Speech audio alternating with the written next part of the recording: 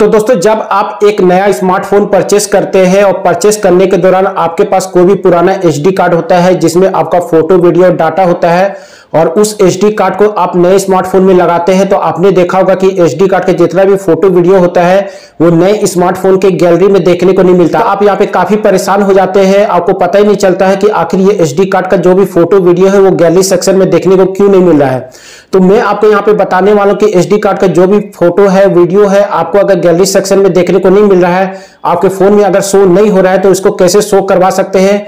आपका फ़ाइल अगर H card में है तो आपका एच कार्ड में ही फ़ाइल रहेगा, पर जितने भी फ़ोटो वीडियो है, वो आप गैलरी में ला सकते हैं गैलरी में देखने को मिल जाएगा।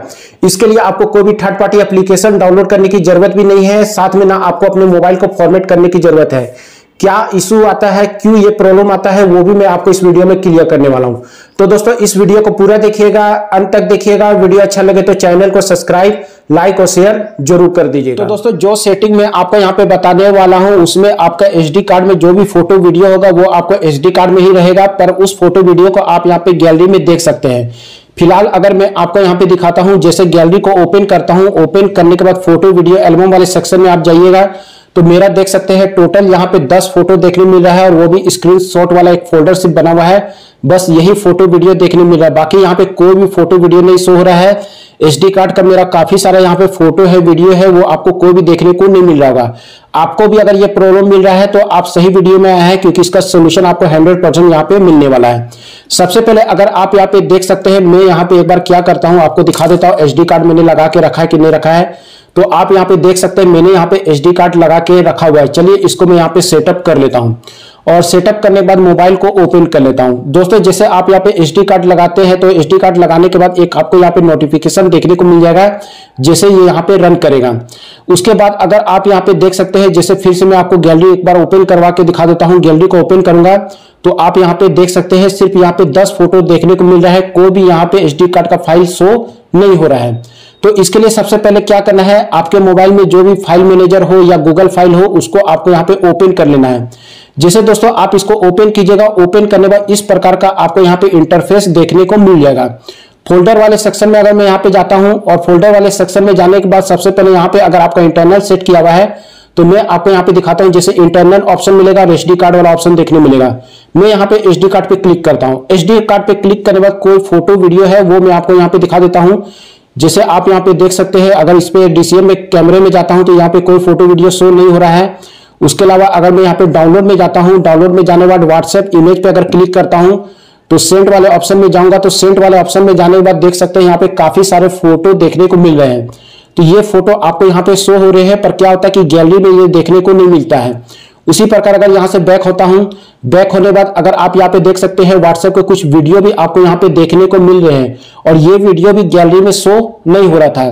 तो ये क्या हो रहा है कि एस कार्ड में तो आपको यहाँ पे देखने को मिल रहा है, पर क्या होता है कि गैलरी में आपको देखने को नहीं मिलता है। तो चलिए यहाँ पे बात करते हैं कि ये प्रॉब्लम कैसे आती है। तो दोस्तों, होता क्या है कि जैसे आप अपने मोबाइल में एच कार्ड को यूज़ करते हैं तो एच कार्ड को यूज़ करने के दौरान अगर आप अपने मोबाइल में सॉफ्टवेयर को अपडेट करते हैं या मान लीजिए कि फैक्ट्री रिसेट कर देते हैं तो जो भी फोल्डर होता है वो करप्ट कर जाता है। और जब करप्ट कर जाता है तो होता क्या है कि वो फ़ाइल आपको गैलरी में देखने को नहीं मिलता है।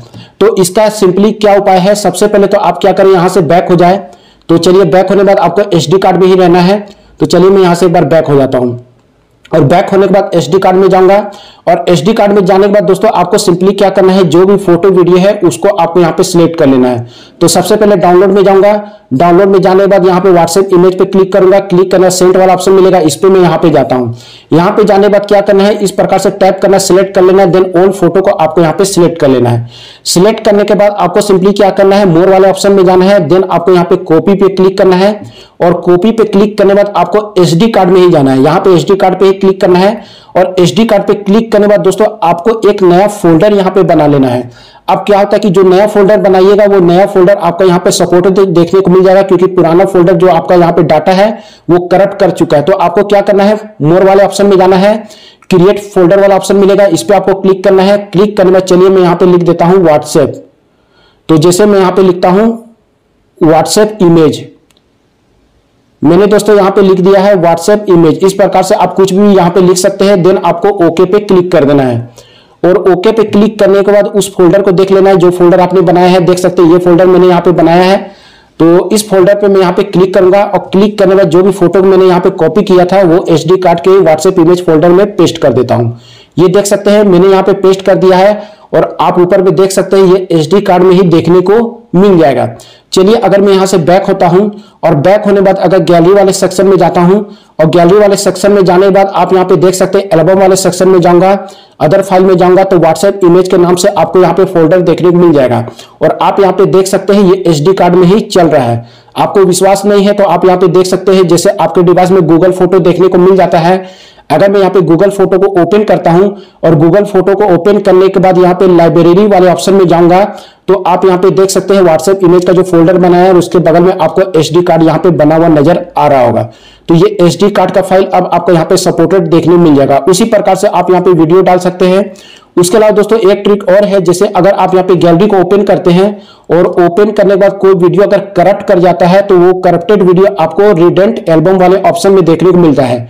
इस पे दोस्तों जैसे आप यहाँ पे क्लिक कीजिएगा तो वो, वो आपको वीडियो देखने मिलेगा। तो आप सिंपली वहाँ से उसको रिस्टोर भी कर सकते हैं। तो आपने अभी देख लिया ये फ़ोटो यहाँ पे आ चुका है। चलिए अब मैं आपको यहाँ पे वीडियो भी दिखा देता हूँ कि वीडियो आता है कि नहीं आता है। तो फिर से मैं यहाँ पे फ़ाइल मैनेजर को ओपन करूँगा और इसी फोल्डर में उस वीडियो को मैं यहाँ पे डाल देता हूँ। तो यहाँ पे क्या करता हूँ बैक हो जाता हूँ। बैक होने के बाद व्हाट्सएप वीडियो वाला ऑप्शन मिलेगा सेंट वाला ऑप्शन देखने मिलेगा और ये टोटल वीडियो को मैं यहाँ पे सिलेक्ट कर लेता हूँ। मैंने यहाँ पे सिलेक्ट कर लिया। सिलेक्ट करने के बाद यहाँ पे क्या करूँगा, इसको कॉपी कर लेता हूँ। मैंने यहाँ पे कॉपी कर लिया। आप यहाँ पे मूव भी कर सकते हैं। एच कार्ड में जाऊँगा। एच कार्ड में जाने के बाद फिर से यहाँ पे व्हाट्सएप इमेज वाले फोल्डर पे क्लिक करूँगा और यहाँ पे पेस्ट कर देता हूँ। मैंने यहाँ पे पेस्ट कर दिया और उसके बाद फिर से मैं यहाँ पे गैलरी वाले सेक्शन में जाता हूँ और गैलरी वाले सेक्शन में जाने के बाद आप यहाँ पे देख सकते हैं व्हाट्सएप इमेज पे अगर क्लिक करूँगा तो अब आपको यहाँ पे वीडियो भी देखने को मिल जाएगा, जो वीडियो को मैंने यहाँ पे कॉपी करके डाला था। और ये टोटल दोस्तों फ़ाइल आपको एच कार्ड में ही देखने को मिलेगा। तो एच कार्ड का जो भी फ़ाइल है, उसको एक फोल्डर में डाल दे और उसके बाद ये सपोर्टेड करना चालू कर देगा।